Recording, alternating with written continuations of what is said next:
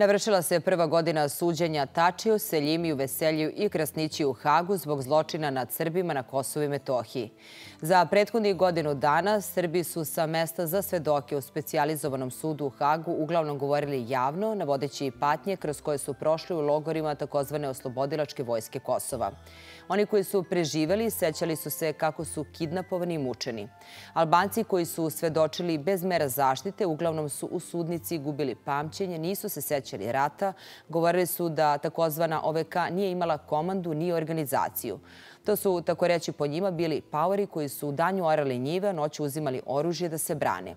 Pripadnici međunarodnih organizacija iskreno su svojim svedočenjima govorili da se Tačijeva gerila pitala za sve i da su Srbi praktično bili glineni golubovi. Gost jutarnjeg programa je Veljko Odalović, predsjednik komisije za nestala lica. Dobro vam jutro i hvala vam što ste naš gost. I ovako smo u najavi ukratko pisali prvu godinu suđenja nekadašnjim liderima paravojske, Tačiju, Veselju, Seljimiju i E, Krasniću, kojima se pred specializovanim odeljenjem za ratne zločine u Hagu e, sudi za ratne zločine počinjene na prostoru Kosova i Metohije. Kako vi ocenjujete e, uopšte tog suđenja u prvu godinu?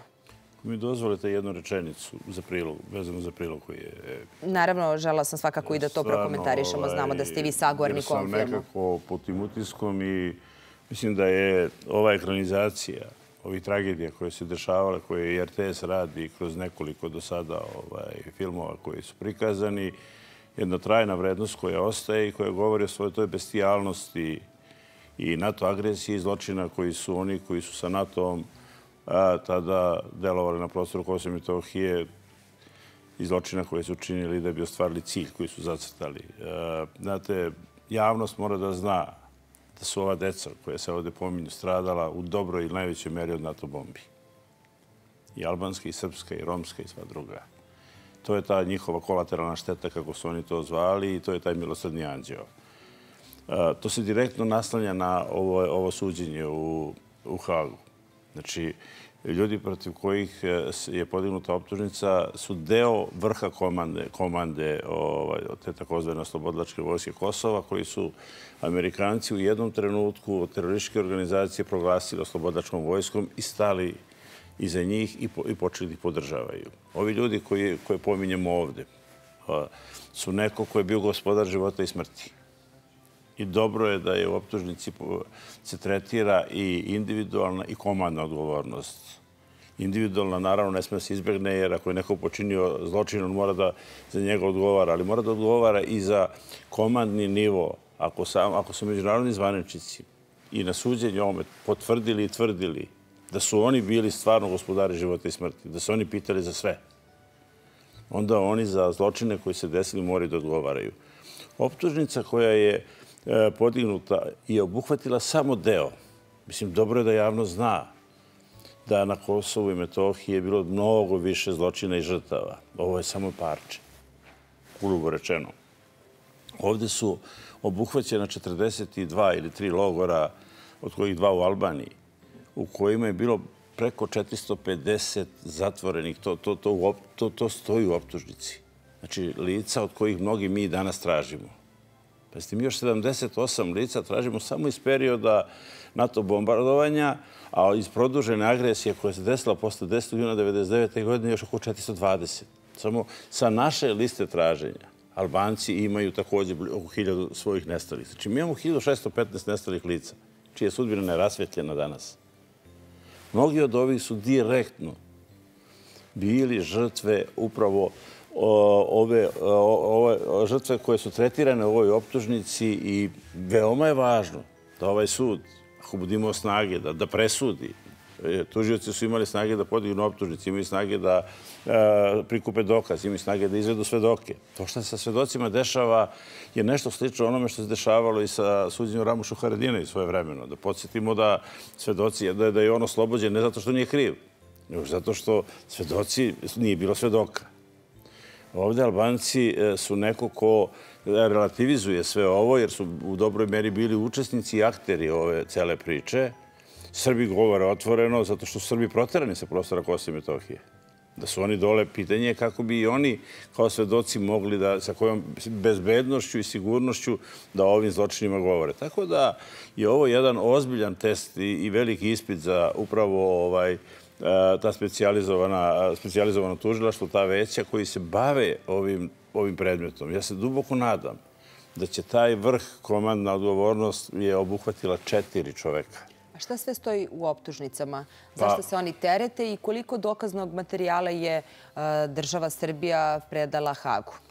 Pa, e, nema ku teže optužnice nego zločine protiv čovečnosti, protiv civilnog stanovništva i to je, to je optužnica.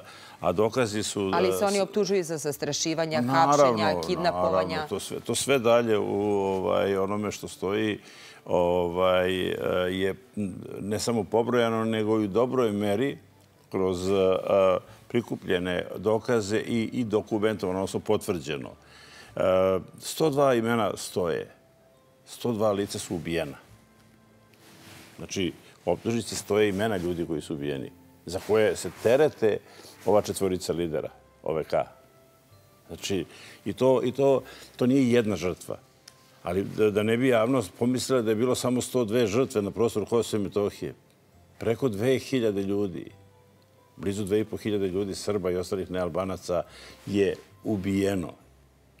Znači, još e, 585 e, e, lica vodi se kao nestalo. Znači, to je jedna produžena agonija koja će delimično dobiti ovaj, neku satisfakciju porodice osudom ovih lica. Ali ponovit ću, e, istražitelji međunarodni kada su svoje vremeno na prostoru Kosova i Metohije, čim su došli posle 1999. godine, su evidentirali 145 ilegalnih zatvora. Ovom optužnicom su obuhvaćena 42 logora. Znači, šta je sa još to? Koliko je lica bilo u tim logorima? Nije, nisu zločini bili, e, uslovno da kažem, na nekim teritorijama i, i da su to pojedini događaji. Zločini su bili na čitavom prostoru Kosova i Metohije jedno, jedno, jedno ozbiljno ovaj, e, e, prvo etničko čišćenje, sistematsko čišćenje i Srba i ostalih nealbanaca. Ne idealizujem ja da ni mi nismo imali gluposti nekih koje, za koje treba da odgovaraju pojedinci i to se radi pred našim tužilaštvima i našim sudovima. Ali ovde sada, ovo ako se ne bude završilo, ja ne vidim ko će se više baviti uopšte ovaj, istragama i utvrđivanjem odgovornosti za, za brojne zločine. Znači, e, A da li nas ohrabruje e, to što nisu pušteni da se brane sa slobode? Šta nam to govori? Da će zaista ovo suđenje ići svojim tokom i da će e, pravda biti zadovoljena na neki način? Pa ja, ajde, mogu da ih razumem zašto ih nisu pustili, jer oni se boje tog velikog jačeg uticaja na svedoke. Mada oni i da preko onih ljudi koji na prostoru Kosova i Metohije zastrašuju svedoke i koji to skoro neskriveno rade, ostvaruju isti cilj ali to je procena ovaj, suda i to je dobra procena suda. Međutim, e, šta je još ovde po meni veoma važno isteći? Cela ova priča je krenula od žute kuće. Znači, optužnica je u biti, u suštini, bi trebala da dokaže ono što je u izveštaju koji je svojevremeno ovaj, bio u Parlamentarnoj skupštini Saveta Evrope, koji je usvojen, na osnovu koje je formiran sud, bi trebalo da se bavi onim činjenicama i dokazima koje su u izveštaju navedeni. Žuta kuća, tako je, trgovina. Žuta kuća se do sada skoro ne pominje. Ne vidim da je jedna radnja preduzeta da bi se izvršila bilo kakva provera ili pretraga lokacija na koje se ukazuje. Pazite, imamo dva, u optužnici imamo dva logora u Albaniji koja su ilegalna zatvora, ali su bili logori gdje se obučavala ta takozvana oslobodačka vojska. Znači, Albanija ne pokazuje apsolutno spremnost da jednu ovo tešku temu skine i sebi kao teret. Ovo pitanje ne može da ostane nerazjašnjeno. Ovo pitanje ako ostane ovako kako je do sada bilo, ono će biti nešto što će strahovito mnogo opterećivati sve. I nas kao žrtve, i Albanicima ogroman teret da su svi odgovorni za tako nešto. Albaniji kao zemlji u kojoj se sve to, sve to odigravalo i međunarodnoj zajednici koja nema snage i moći da završi ovaj posao do kraja. Ili neće. Jer samo da bi razjasnili malo i da, da, da pomogne malo da, da se shvati. Uh, jedan dokument koji je dokument koji je između Unmika i ovaj e, predstavnika istražitelja Haškog tribunala cirkulisao, on je govorio o tome kako su iz tih ilegalnih zatvora, između ostalog i iz ovih, e, oni koji su u njima bili transportovani, prebacivani u Albaniju i šta se njima dešavalo. Tamo su izjave osam svedoka, albanaca vozača, koji su do detalja opisali šta se dešavalo od preuzimanja do predaje i ono što su videli u tim mestima i logorima gde su odveli ove ljude koje su ovaj, transportovali. I to e, se dešavalo sve u vreme mandata, punog mandata međunarodne misije. Znači ti kamioni i ti transporti su išli preko prostora Kosova i Metohije. Od Podujeva pa do, do, do, do, do, do, Đakovice koje je tu relativno najbliža, odnosno ovaj, tih prelaza. E, oni su nesmetano kretali sa ljudima koji su bili u ilegalnim pritvorima i transportovali ih da ih niko nije ni zustavio ni pitao ništa. Deo toga je i film rasvetlio. Mislim, malo je, e, bila su tu neka onako dobra pojašnjenja. Tako da je ovo trenutak u kojem e, će međunarodna zajednica ili imati snage da nastavi i produbi ovo, jer ja duboko verujem da ne može da se završi e, suđenje, da se kaže da je sve rešeno time što će se za 102 žrtve neko osuditi, a za ostalih par hiljada neće niko. Znači, prosto, znate, mi imamo jednu situaciju to je, to je direktno možda malo povezano i sa ovom tragedijom ovaj, koja se dešavala deci i civilima na prostoru Kosova i Metohije. Imamo porodicu Šutakovići, koju smo pronašli pre jedno 6-7 godina u jednom bunkeru kod Đakovice. Tamo je klasičnom egzekucijom ubijena porodica čitava. Znači, otac, majka i tri maloletna srpska deteta. Znači, obdukcijni e, nalaz govori da su klasičnom egzekucijom, da su bukvalno da im je u glavu. I zato niko ne odgovara. O tome niko ne priča. S druge strane, Albin Kurti govori o epopeji OVK, o tome da je to bila čista pravedna borba, o, o raznim glupostima, jer se verovatno boji da bi ovakva presuda srušila taj mit.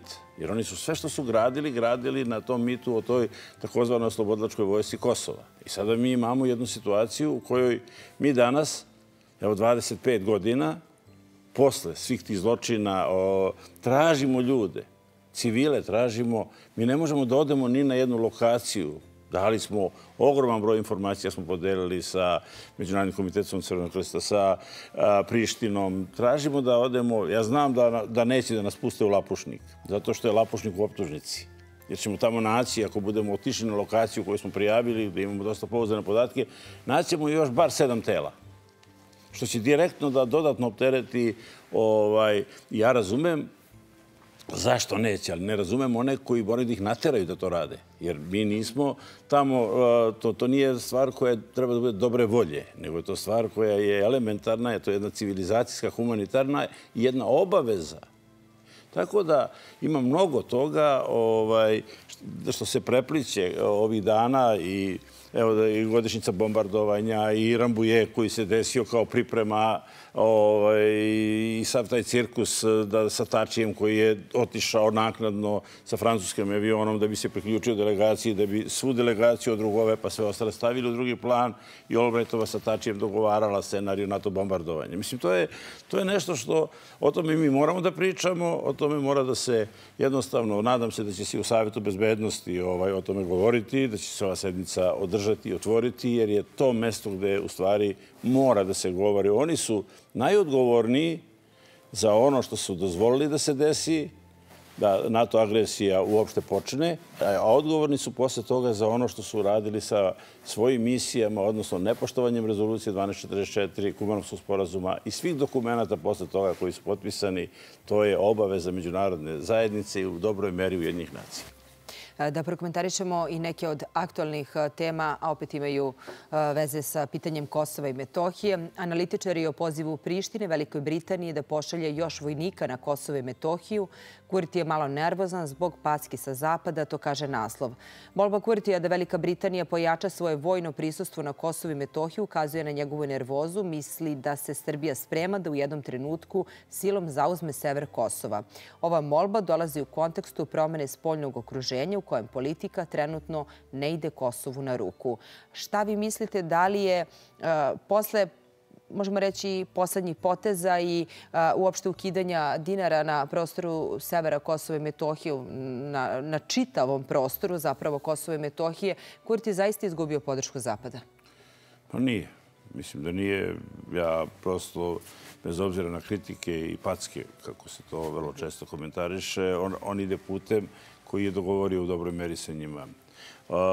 Ovo je vrlo ovaj, neopasno, ali je vrlo bezobrazno zvati Britance. E, to je kada vratite nekoga na mesto zločina. Britanci su najodgovorniji za stanje koje se desilo 90. godina. Oni su bili udarna pesnica svih njih, svih tih ovaj, e, scenarija koje su pravljeni na nekim drugim mestima na zapadu. Ja sam bio u Prištini.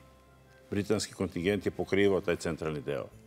Samo ono što sam ja video, njihovo ponašanje, ponašanje njihovih vojnika, uz jedan častan izuzetak kada je jedan vojnik stao i branio jednu zgradu i pucao. Sve ostalo je bilo u funkciji upravo da ono što su zacetali mogu da ostvare. Ja sam gledao kada su niz veternik, onaj veternik koji se ovih dana prikazuje u, ovaj, u ovome pogromu, gde ona rulja kreće gore, da ih Amerikanci čekaju.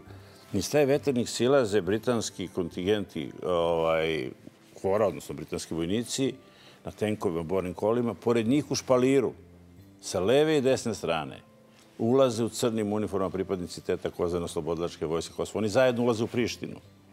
Zajedno.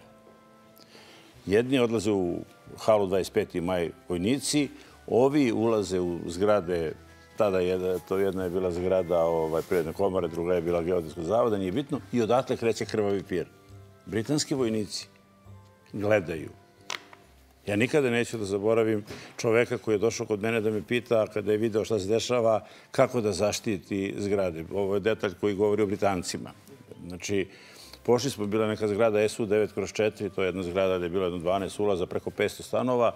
Mi smo u toj zgradi u svakom ulazu obezbedili za jednu jedinicu britanskog kontingenta, britanskih vojnika da budu na ulazu da bi čuvali zgradu, jer su Srbi živeli tu. Posle dva dana je došao kući kod mene u Kosovo polje da mi kaže da je dobio naredbu da mora da povuče sve. Kad sam mu rekao, znate li vi šta to znači? Kaže, ja moram da povučem vojnike. E toliko o tome i kako su oni svoju misiju ostvarili i šta su radili. Tako da njihov dolazak ovde nije časna namera i oni nam ne trebaju. Na kraju krajeva